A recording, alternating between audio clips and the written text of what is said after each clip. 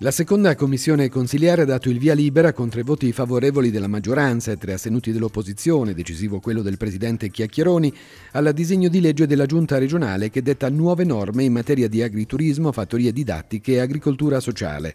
Il testo legislativo racchiude la sintesi di altre quattro proposte di legge di iniziativa consiliare, bocciato l'articolo 23, che prevedeva interventi di sostegno all'agricoltura sociale. Approvati altri emendamenti, tra i quali uno a firma Dottorini dell'Italia dei Valori, che consente anche ad imprese e cooperative sociali di utilizzare l'agricoltura come strumento di riabilitazione e di inclusione sociale.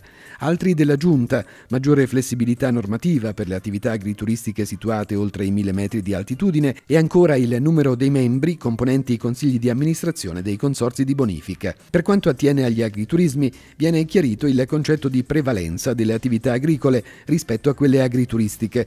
Vengono stabiliti limiti minimi certi per la somministrazione di prodotti aziendali, 30% di produzione propria, 55% di produzione regionale, soltanto per il 15% potranno essere utilizzati prodotti di altra provenienza. Verranno anche intensificati i controlli.